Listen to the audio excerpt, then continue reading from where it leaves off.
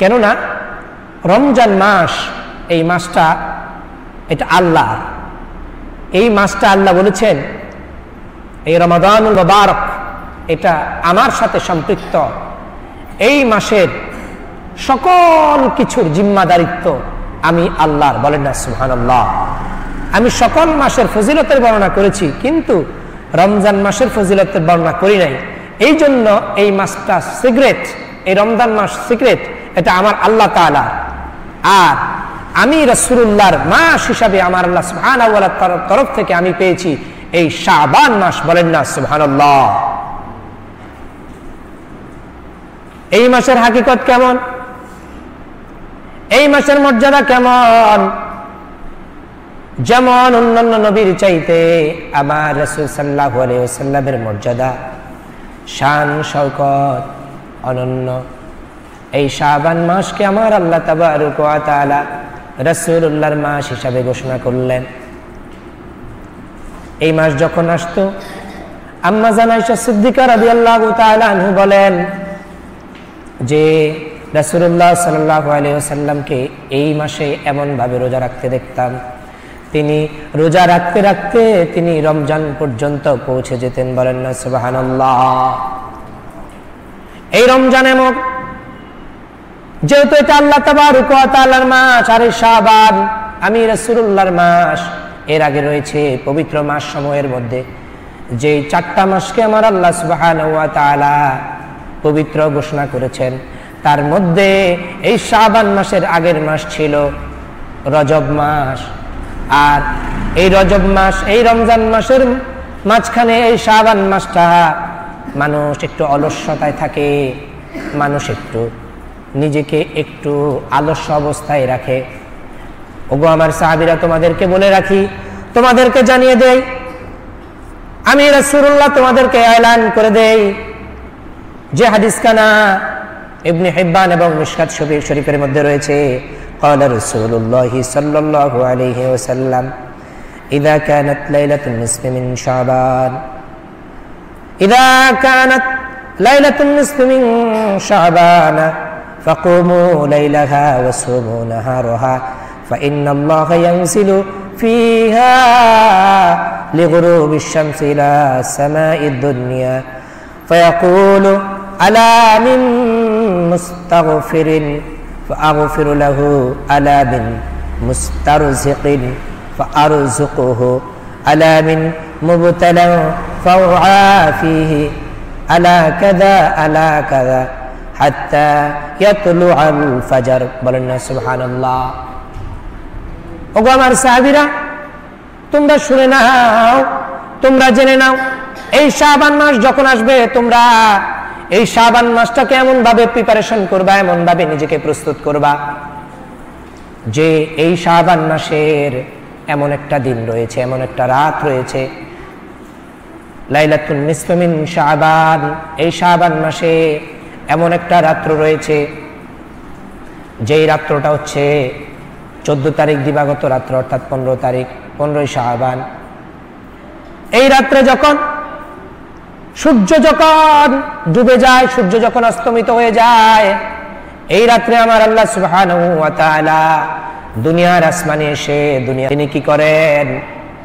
সকল বান্দাদেরকে ডাকতে থাকেন, ওগো আমার বান্দারা, যে তোমরা এমন কেউ কি আছো? ফায়াকুলু, আলা মিন মুস্তাগফিরিন। ওগো আমার বান্দারা, তোমরা তো অনেক গুনাহ করেছ, অনেক পাপ করেছ।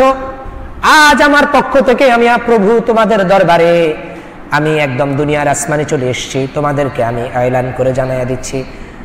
তোমরা যত গুণা করেছ এই জীবনে, আজকে রাত্রে তোমাদের জন্য আমার ক্ষমার দরজা খোলা। তোমরা এমন কি রয়েছ? তোমাদের বিগত জিন্দিগির গুণা আমার কাছে ক্ষমা চাইবা, আমার কাছে মাপ চাইবা, আসো। আমি তোমাদেরকে ফিরুলাহু আমি তোমাদেরকে আজকের এই রাত্রে তোমাদেরকে ক্ষমা করে দিব, বলেন না, সুবহানাল্লাহ।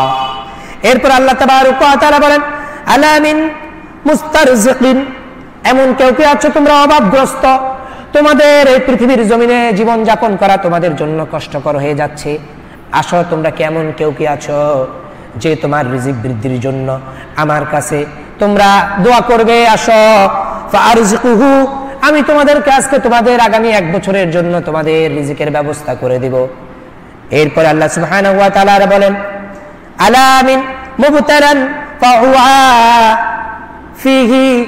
আর কেউ কি আছো তোমরা? এই রাত্রিতে তোমরা আমার কাছে তোমাদের সুস্থতার জন্য তোমরা রোগাক্রান্ত রয়েছ। আজকে কি তোমরা চাইবা? তোমরা সুস্থতার জন্য। আমি আল্লাহ ওয়া তোমাদেরকে আজকে আমার পক্ষ থেকে যা চাইবা তা দান করে দিব বলেন না সুবহানাল্লাহ। এতে কতক্ষণ পর্যন্ত? এই লাইলাতুল নিসফি মিন শাবান যখন আসবে, ফজর নামাজ পর্যন্ত ফাজরি, আর এই জিনিসটা আল্লাহ তাবারক ওয়া তাআলা আহ্বান করতে থাকে বান্দাদেরকে ফজর পর্যন্ত বলেন না সুবহানাল্লাহ। কিন্তু আফসোস আমাদের সমাজে এমন অবস্থা তৈরি হয়েছে যে এখন এই শাবান মাসে যে আমরা লাইলাতুল বারাত যেটা পালন করি, লাইলাতুল নিসফি মিন শাবান। সূরা দোকানের মধ্যে আল্লাহ তাআলা তিন নম্বর আয়াতে এই লাইলাতুল বারাতকে মোবারকপূর্ণ রাত্র হিসাবে ঘোষণা করলেন। সবে বরাত এটা ফার্সি শব্দ। অনেকে আমাদেরকে এই রাত্রর ব্যাপারে অনেক বিভ্রান্তি করে, অনেক ধরনের ফেতনা সৃষ্টি করবার চেষ্টা করে। অথচ আল্লাহ সুবহানাহু এই রাত্র বান্দাকে নিয়ামত দেওয়ার জন্য দুনিয়ার আসমানে চলে আসেন। দুনিয়ার আসমানে এসে বান্দার জন্য তার জালালিয়তের দরজা, তার ক্ষমার দরজা, তার যে রাজ্জাকের দরজা খুলে দেন। আর আমাদের সমাজে এমন কিছু মানুষ আমাদেরকে এমনভাবে বিরত রাখে যে এই সমস্ত দিনগুলো কি কি দরকার নেই? আমাদেরকে বলে, সারা বছর নামাজ পড়ার কোনো খবর নেই। একটা রাত্রে এলে এত বেশি পরিমাণ বাড়াবাড়ি করা হয়। আমাদেরকে এই রাত্রটা থেকে পর্যন্ত বিরত রাখে। অথচ আচ্ছা আপনারা বলেন, কোনো মানুষ যদি আজকে মনে করেন আসলো, জুমার দিন, আজকে কিসের দিন? জুমার দিন। এই জুমার দিন কেউ নামাজ পড়তে আসলো। কি কি কি করতে আসলো? নামাজ পড়তে। সব বলেন না, কি করতে- কি পড়তে আসলো? নামাজ পড়তে আসলো। আর বাকি ছয় দিন, শনিবার থেকে আপনার বৃহস্পতিবার পর্যন্ত কোনো নামাজ পড়ল না। শুধুমাত্র শুক্রবারে নামাজ পড়তে আসলো। এখন আমি যদি বলি, সারা সপ্তাহ আপনার কোনো খবর নেই। শুধুমাত্র শুক্রবারে চেহারা দেখানোর জন্য আসে। এই নামাজের আপনার কোনো মূল্য নেই। এই কথা বলে আমি যদি তাকে ইনসাল্ট করি আমি যদি তাকে যদি মসজিদ থেকে বিতাড়ানোর তাড়ানোর জন্য কোনো ধরনের তাকে তার মনের মধ্যে আঘাত লাগে, এমন ধরনের কথা বলি, বলেন তো, এটা আপনার ইমান, আমল, কোন জায়গায় গিয়ে ঠেকবে এটা আপনি কখনো চিন্তা করেছেন? অথচ হাদিস শরীফে আসছে যেই ব্যক্তি একটা না তিনটা জুমা বাদ দেয়, আল্লাহ তাআলা তার অন্তরের মধ্যে পার্মানেন্টলি মুনাফিকের সিল মেরে দেয় এবং তার কাছ থেকে হেদায়েতের নূর বের করে দেয়। চিন্তা করেন, এখন আমি যদি তাকে ইনসাল্ট করি এ সারা বছর খবর নেই কি একটা রাত্রে এসছে এই রাত্রে মানে খুব বাড়াবাড়ি হচ্ছে।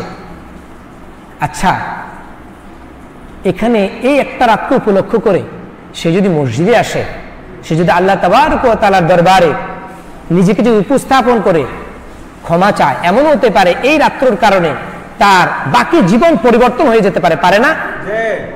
আমি যদি সে এমনিতেই নামাজ পড়ছে না, এমনিতে দিনের প্রতি গাফেল, আমি যদি বলি ইসলামে এগুলো নেই, সারা বছরের খবর নেই, সারা রাত্র ইবাদত বান্দিগি করে, অথচ ফজরের সময় ঘুমায়, অথচ ওই ব্যক্তিরা খেয়াল করে না যে অন্যান্য দিন, অন্যান্য সময়, মসজিদে কিন্তু ফজরের নামাজের সময় এত মানুষ পাওয়া যায় না।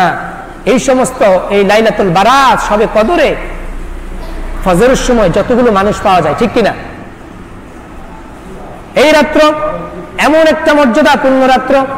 আল্লাহ তাআলার হাবিব সাল্লাল্লাহু আলাইহি ওয়াসাল্লাম বলেন, তোমরা যদি এই রাত্রে আল্লাহ তাআলার দরবারে যদি তোমরা দাঁড়াও, আমার আল্লাহ তাআলা আগামী এক বছরের জন্য তোমাদের ভাগ্য, তোমাদের হায়াতে জিন্দিগির সকল আমল নামা এই রাত্রে আমার আল্লাহ তাবারক ওয়া তাআলার দরবারে উপস্থাপন করা হয় বলেন না, সুবহানাল্লাহ। এবং এটাও ফেতনা ছড়ায়। এটাও ফেতনা ছড়ায় যে এই রাত্রিকে উপলক্ষ করে এই যে একটু ভালো খানা ফেনার ব্যবস্থা করা হয়, এটা দিয়ে বলে যে সারা বছর খবর নেই, এই রাত্রে এসে আমরা যে একটু ভালো খাবারের ব্যবস্থা করি। এটাও তারা বেদাত। এবং এটাকে তারা নিয়ে অনেক ধরনের প্রেরণা সৃষ্টি করে। আচ্ছা আপনি আমাকে বলেন তো দেখি। আগের কার মানুষ, আমাদের সেই মন মানসিকতা আছে। আগে আমরা পাশর যে ঘরটা রয়েছে, এই ঘরকে কোনো কিছু যদি আমি যদি আনি, না দিয়ে খেতাম না।